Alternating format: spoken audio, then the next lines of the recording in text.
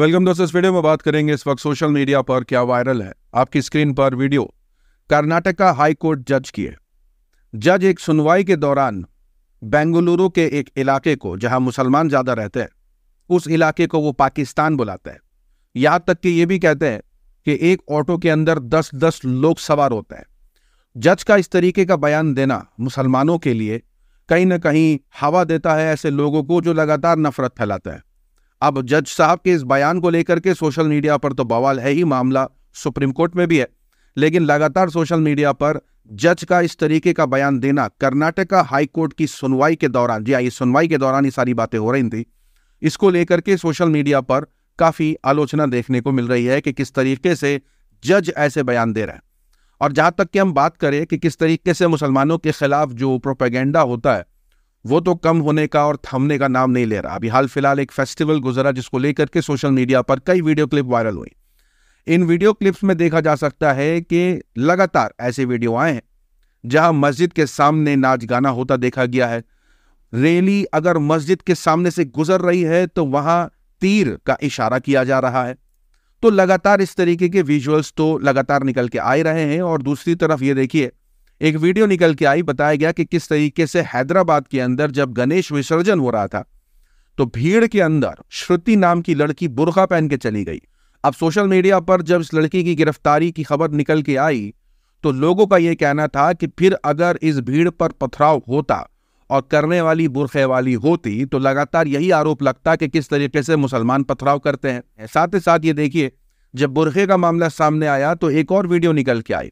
जहाँ बताया गया कि किस तरीके से बुरखा पहन करके हिंदू महिलाएँ चोरी करती हैं। तो देखा आपने कि ये महिला का रूप है जो कि ऊपर से अंदर से साड़ी पहनी है और ऊपर से बुरका पहनी है। यानी कि कहीं ना कहीं लोगों को चकमा देने के लिए इस नया तरकीब का इस्तेमाल किया गया है ताकि ये चोरी की घटनाओं को अंजाम दे और अंजाम देने के बाद चोरी करके निकले और बुड़का को हटा दे ताकि वास्तविक रूप में आ जाए। अब ये चोरी करता हुआ पकड़ी तो गई है लेकिन ऐसे कई लोग होंगे जो दाढ़ी टोपी में ऐसा काम करते होंगे। न जाने ऐसी कई वीडियो आई हैं, जो दूसरे मज़हब के लोग जो है, वो मुसलमान ड्रेस पहन करके, वो भीख मांगते हैं। ना जाने क्या क्या कर रहे हैं, ये बुरखा पहन करके ये वीडियो देखिए। वीडियो वायरल हुई है, जिस पर कई लोग जो हैं, वो आलोचना कर रहे हैं बताते हुए कि मुसलमान दिखने लगो, अपराध करते जाओ, एक तीर से दो शिकार, नफरत भी फैलाओ, चोरी भी करते रहो। यानी मुसलमान बदनाम भी होता रहेगा ऐसी हरकतों से, और फिर उनके खिलाफ जो है वो बाइकआउट भी चलता रहेगा। ये देखिए, हिमाचल प्रदेश से अपडेट मैंने शेयर करी थी, बताया था कि कैसे शिमला की एक मस्जिद को लेकर के वहाँ बवाल हुआ। अब हिमाचल प्रदेश से अपडेट निकल के आ रही है कि मुसलमानों का बहिष्कार भी चल रहा है वहाँ पर। और यह हफ़्ता जो गुजरा है, उसके अंदर झारखंड से लेकर के हिमाचल प्रदेश लगातार कम्युनल टेंशन की खबरें निकल के आई हैं, जहाँ मुसलमानों के खिलाफ डिस्क्रिमिनेशन देखने को मिला है। और ये रुका नहीं है। लगातार ऐसी रिपोर्टें निकल के आ रही हैं। महाराष्ट्र के एक इलाके की अपडेट बताई जा रही है। मुसलमानों का आरोप है कि वो गुजर रहे थे और उन्हें ज़बरदस्ती रोका गया। रोकने के बाद उनको मारा पीटा गया। जहाँ मुसलमानों का आरोप है कि उन्हें मारा पीटा गया और उनको धार्मिक नारे लगाने पर मजबूर भी किया गया। अब एक तरफ़ तो ये मुसलमानों के खिलाफ जो षड्यंत्र है, जो प्रोपेगेंडा है और उससे निकलने वाली जो नफरत है, वो तो खबरें हैं ही। लेकिन दूसरी तरफ़ देखिए किस खबर को, किस खबर से मिलाने की कोशिश की जा रही है। अब मामला निकल के आया कि किस तरीके से तिरुपति मंदिर में जो लड्डू बन रहे हैं, उसके अंदर एनिमल फैट का इस्तेमाल किया जा रहा है, आरोप लगाया चंद्रबाबू नायडू ने आंध्र प्रदेश के एक्स सीएम जगन मोहन रेड्डी की सरकार पर और बताया कि कैसे उनके वक्त में लड्डू के अंदर एनिमल फैट का इस्तेमाल किया जा रहा था और रिपोर्ट भी निकल के आई। Pig fat L A R D pig fat lard pig fat, दूसरा बीफ टेलो, बीफ की चर्बी, तीसरा फ़िश ऑयल। अब देखिए, अब गोदी मीडिया पूरा लगा हुआ है इसके अंदर, जिस तरीके से गोदी मीडिया रिपोर्टिंग कर रहा है, इसे बेहद शर्मनाक और बहुत बड़ा घोर पाप, ये सब कुछ तो चल ही रहा है। लेकिन मीडिया की रिपोर्टिंग के अंदर अमन चोपड़ा जोश जोश में बहुत कुछ बोल जाते हैं, जो मैं आगे शेयर करूँगा। लेकिन इस रिपोर्ट के मुताबिक ये भी बताया जा रहा है कि एक लाख लड्डू अयोध्या भेजे गए थे राम मंदिर इनोग्रेशन के दिन जी हाँ तो यहाँ पर एक बड़ा जो कह सकते हैं कि हिंदू आस्था के साथ खिलवाड़ है, उसको लेकर के अलग चर्चा चलती हुई दिख रही है, लेकिन मीडिया के अंदर कई खुलासे हो रहे हैं। मीडिया के ही खुलासे हो रहे हैं। अब देखिए, अमन चोपड़ा जोश जोश में सारी बातें कर रहे थे। जोश जोश में ये भी कह जाते हैं कि किस तरीके से बीजेपी के एक नेता है, वो वो लड्डू भेजते थे। यानी संबंध बता रहे हैं बीजेपी के नेता के साथ। अमन चोपड़ा। मैं मैं नाम ले लेता हूँ सुनील देवधर है बीजेपी के नेता। वो बालाजी का प्रसाद भेजते हैं। मैंने उनसे रिक्वेस्ट की प्लीज़ मुझे भेजिएगा तिरुपति बालाजी का। वो हर बार भेजते तो इसमें कोई दो राय नहीं है कि कितने कनेक्शन है इनके बीजेपी नेता के साथ। ये ऑन कैमरा भी आ गया है।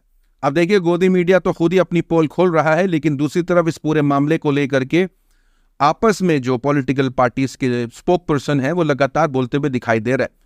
अमित मालविया कह रहे हैं कि ये सेक्युलरिज्म की वजह से हुआ है। तो टीएमसी के स्पोक पर्सन कह रहे हैं कि भाई बीफ एक्सपोर्टर्स से चंदा लेता कौन है? इस तरीके की सोशल मीडिया पर बातें चल रही हैं। लेकिन इसी बीच जो है, वो जानबूझ करके एक मुस्लिम एंगल देने की कोशिश की जा रही है। आंध्र प्रदेश के एक्स सीएम का एक फ़ोटो शेयर किया जा रहा है और इस फ़ोटो के साथ अपनी कमेंट्री की जा रही है कि किस तरीके से जो है, वो इनकी सरकार के अंदर इस काम को अंजाम दिया है। यहाँ पर यह बताया जा रहा है कि सिर्फ़ एक फ़ोटो शेयर करने से नहीं होगा। यह भी देखना होगा कि तिरुपति मंदिर के जो बोर्ड मेंबर्स हैं वो कौन है? ये पूरी लिस्ट है, इसके अंदर एक मुसलमान नाम दिखा दें। दूसरा यह भी बताया जा रहा है कि इस लिस्ट के अंदर बीजेपी के एमएलए भी हैं। जी हाँ ये फ़ोटो भी शेयर किया जा रहा है, बताया जा रहा है कि बोर्ड मेंबर के अंदर बीजेपी के एमएलए भी हैं, लेकिन लगातार जो आलोचना है वो एक्स सीएम की चल रही है। यहाँ लगातार सोशल मीडिया पर चर्चा है और जो लोग मुसलमानों को घेरने की कोशिश कर रहे हैं इसके अंदर, उनका खुलासा, उनका एक्सपोज भी चल रहा है। ये सवाल पूछा जा रहा है कि ये जो खून खोलता है ऐसे लोगों का, जब उन्हें पता चलता है कि कैसे जो मुसलमान हैं, उन पर जब इस बात का सिर्फ़ आरोप ही होता है कि उन्होंने या तो मांस खाया है गाय का, या वो एक्सपोर्ट कर रहे हैं, सिर्फ़ इस बात के आरोप में ही जो है वो कितनी जाने ले ली जाती है। क्या इस खबर पर, जब खबर निकल के आ रही है कि बोर्ड मेंबर के अंदर कौन कौन है? तो क्या उनके साथ वही कार्रवाई होगी जो मुसलमानों के साथ होती है? No no! अब एक वीडियो वायरल हुई है जो न्यूज़ 18 की एक डिबेट शो के दौरान है। एंकर जो है वो एक शख्स के पास जाता है वो बताता है उसके ऊपर छियानवे लाख का लोन है। तो टीवी पे ऐड आता है जो पैसे कमाने का जो आज आप आप टीम लगाइए और करोड़ रुपए कमाइए इसमें से बहुत लोग गेमिंग एडिक्ट होते हैं। तुमने खेला क्या ये? यस कितने पैसे गवाए? अभी मेरे ऊपर छियानवे लाख रुपए का कर्ज है। कितने? छियानवे लाख छियानवे लाख रुपए का? इस वजह से क्योंकि वो बैटिंग ऐप खेलता था और लालच में वो खेलता गया, लेकिन वो जीता कम और कर्जदार ज़्यादा हो गया। वीडियो काफ़ी इमोशनल है, काफ़ी लोग अपने भावनाएँ शेयर कर रहे हैं। इस वीडियो को शेयर करते हुए कि लोगों का क्या हाल है, लेकिन दूसरी तरफ़ जो है, वो ये भी चल रहा है कि किस तरीके से ये लोग बड़े बड़े सेलिब्रिटीज किस तरीके से ऐसे एप्स का प्रमोशन करते हैं। जी हाँ यहाँ बताया जा रहा है कि ऐसे लोगों तक इस वीडियो को पहुंचाएँ कि आपके इस एडवर्टाइजिंग की वजह से इस बैटिंग ऐप की एडवर्टाइजिंग की वजह से न जाने कितने लोग जो है वो परेशान है और कितने लोग कर्जदार है। ऐसी कई रिपोर्टें आई हैं जो कर्ज की वजह से कई लोगों ने अपनी, लेकिन इसके बावजूद जो है वो इसको लेकर के ज़्यादा बात नहीं होती। अब जब वीडियो निकल के आई है तो लगातार ऐसे खिलाड़ियों का बहिष्कार देखने को मिल रहा है। यहाँ तक के न्यूज़ 18 का भी एक्सपोज चल रहा है, जिस बात को लेकर के तो चर्चा कर रहा है, लेकिन खुद सीएनएन न्यूज़ 18 की तरफ़ से एक डेडिकेटेड वीडियो एपिसोड किया गया था एमपीएल पर। तो सवाल तो यह है कि जितने जिम्मेदार सेलिब्रिटीज हैं, ऐसे ऐप्स को प्रमोट करने के लिए उतने ही जिम्मेदार ऐसे लोग भी हैं जो ऐसे ऐप्स का प्रमोशन करते हैं और इसके अंदर मीडिया भी बढ़ चढ़ करके हिस्सेदारी ले रही है। साथ ही साथ शेयर करते हैं आपके साथ कि कंगना रनावत जिस तरीके से ये आरोप लगा रही थी कि विपक्ष की तरफ़ से या राहुल गांधी की तरफ़ से मेरी मूवी पर रोक लगाई जा रही है तो ये जो आरोप लग रहे थे, अब ये आरोप सारे खत्म। उसकी वजह यह है कि जी ने बॉम्बे हाई कोर्ट से कहा है कि इमरजेंसी मूवी डिले इसलिए हो रही है रिलीज़ में क्योंकि बीजेपी नहीं चाहती कि सिख वोटों पर असर पड़े इस मूवी की वजह से। यानी खुद बीजेपी इस मूवी को रिलीज़ होने से रोक रही है डिले कर रही है। अब कंगना रनावत के साथ तो खेला हो गया क्योंकि लगातार वो विपक्ष पर निशाना साध रही थी। लेकिन जब जी ने यह बताया कि खुद बीजेपी की तरफ़ से ये मूवी को रोकी जा रही है तो यहाँ पर कंगना रनावत पूरे सन्नाटे में चली गई है। यहाँ तक कि कंगना रनावत तो इतनी वायरल हो चुकी है कि पाकिस्तान तक में उनकी मिमिक्री चल रही है। वो बल्कि वो ज़्यादा मुस्कुरा रहे वो पर्पल शर्ट वाले। लगता है उनकी ज़िंदगी सबसे बड़ा जोक बन गई है। अब कंगना की बात करें और बीजेपी रह जाए ऐसा कैसे हो सकता है? खबर निकल के आ रही है मुरादाबाद से। बीजेपी के मेयर है प्रधानमंत्री मोदी के जन्मदिन पर पहुँचे थे खून यानी ब्लड डोनेट करने के लिए। वो लेटे और ब्लड जैसे ही डॉक्टर निकालने लगे तो मेयर साहब ने हाथ खड़े कर दिए। उन्होंने कहा मैं तो सिर्फ़ फ़ोटो खिंचाने आया हूँ। वीडियो वायरल होने के बाद रवीश कुमार तंस कसते हैं कहते हुए कि विनोद अग्रवाल को अगर मौका मिले तो प्रधानमंत्री बन सकता है। साथ ही साथ बता दे कि सहवाग यानी वीरेंद्र सहवाग एक ट्वीट करते हैं। जिसके अंदर वो आलोचना तो करते ही हैं बताऊँगा किस बात की आलोचना, लेकिन जिस तरीके से वो ट्वीट डिलीट कर देते हैं, वो ज़्यादा वायरल हो जाता है। जितना उनका ट्वीट वायरल नहीं हुआ, उनका डिलीट करना वायरल हो गया। हुआ यह कि प्रधानमंत्री मोदी के ट्विटर अकाउंट से यह बताया गया कि किस तरीके से जो इनसाइड डेटा है, वो बताता है कि बैंकिंग सेक्टर जो है वो ट्रांसफॉर्म हो रहा है। और इसको लेकर के नरेंद्र मोदी ट्वीट करके लिखते हैं कि how PSU banks are powering it यानी किस तरीके से जो बैंकिंग सेक्टर्स हैं, वो मज़बूत पकड़ रहे हैं और ट्रांसफॉर्म कर रहे हैं। और इसको लेकर के कई लोग जो हैं, वो इन बैंकिंग सेक्टर में जो है, वो अपने पैसे इन्वेस्ट करना चाहते होंगे। तो वीरेंद्र सहवाग जो है, वो एक ट्वीट करके बताते हैं कि मेरे स्टाफ ने, यानी उनका जो काम करने वाला होगा, उन्होंने अपनी एक ज़मीन बेची, जिससे उन्हें पैसे मिले। उन्होंने उस पैसे को, जैसे कि बताया ट्वीट के अंदर मोदी ने उस पैसे को उन्होंने इन बैंक्स में लगाए। और उसके बाद अब बता रहे हैं वीरेंद्र सहवाग कि उसके अंदर उनको घाटा हुआ है, यानी उनके स्टाफ को घाटा हुआ है। अब इस पूरा जो चैट है ना, इसके अंदर उन्होंने पूरा चिट्टा किट्टा खोल दिया, आलोचना करी, बताया ये सारा कुछ कि कैसे उसका नुकसान हुआ है।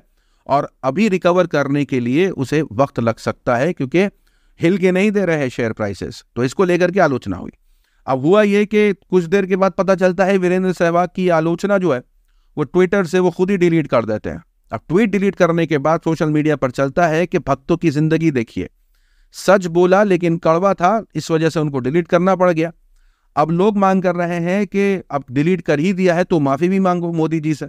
हाथ जोड़ के माफ़ी मांगो और वीडियो बना के माफ़ी मांगो। तुमसे ना हो पाएगा। अब बताते हैं कि यूट्यूब की दुनिया में क्या चल रहा है। कई पॉलिटिकल कमेंटेटर्स हैं और न्यूज़ एंकर्स हैं। उनकी तरफ़ से खबर ये निकल के आ रही है कि यूट्यूब जो है वो उनके चैनलों को डीमोनेटाइज कर रहा है। जी हाँ। खबर निकल के आई डॉक्टर मेड्यूसा के हवाले से और रजाग्राफी के हवाले से। दोनों के चैनल डीमोनेटाइज हो गए हैं और इसके पीछे की वजह या तो रीयूज कंटेंट है या कोई एक्स वाई जी रीजन है। यानी स्पेसिफिकली यूट्यूब क्लियरिफाई तो नहीं करता है, लेकिन हाँ इन वजहों से इन दोनों के चैनलों को डीमोनेटाइज कर दिया। आप डीमोनेटाइज का मतलब ये होता है कि अगर चैनल पर अर्निंग नहीं होगी तो वो रेकमेंड भी नहीं करेगा, क्योंकि यूट्यूब खुद पैसा कमाने बैठा है। जब वो नहीं कमाएगा तो कमाने भी नहीं देगा तो वो रेकमेंड नहीं करेगा। तो ज़ाहिर सी बात है डिमोनेटाइज का मतलब ये होता है कि उनकी रीच खत्म करने की पूरी कोशिश हुई है और रीयूज बता करके किसी का या किसी का कुछ और बता करके उनके चैनल को डिमोनेटाइज कर दिया गया है। ये दो बड़ी खबरें हैं। हमारे एडसेंस के साथ भी छेड़छाड़ हुई है। दो दिन पहले एक फॉर्म आया यूएस टैक्स फॉर्म आता है अमूमन। तो उसको जैसे ही फिलअप कर रहे थे तो उसके अंदर उसको रिव्यू में डाल दिया गया, जबकि वही इन्फॉर्मेशन दी थी जो तीन साल पहले दी थी। कुछ नया नहीं था, लेकिन लगातार ऐसा देखने को मिल रहा है कि किस तरीके से कहीं ना कहीं, कोई ना कोई छोटी मोटी चीज़ें निकाल करके, जानबूझ करके फंसाने की, या यूँ समझ लीजिए कि आपको डीमोटिवेट करने की, एक क्रिएटर डीमोटिवेट हो जाता है जब इस तरीके की खबरें निकल के आती हैं कि उनके चैनल के साथ कुछ छेड़छाड़ हो रही है या डीमोनेटाइज हो रहा है। तो एक क्रिएटर जो है ना वो डिमोटिवेट हो जाता है। तो इस वजह से कई कंटेंट क्रिएटर्स जो हैं, वो लगातार इस फ़ील्ड से थोड़ा दूर भी हट रहे हैं। पहले ज़्यादा वीडियो बनाते थे, अब कम बना रहे हैं। ये एक बड़ी वजह है। मुझे लगता है ऐसे लोगों को भारी सपोर्ट की ज़रूरत है। अगर आप हमारे चैनल को भी सपोर्ट करना चाहते हैं तो ज्वाइन का बटन दबाएँ। सोशल मीडिया की खबर में आज के लिए इतनी अपनी राय सुझाव कमेंट में ज़रूर बताएँ। मिलूँगा अगले वीडियो में। तब तक के लिए अपना ख्याल रखें।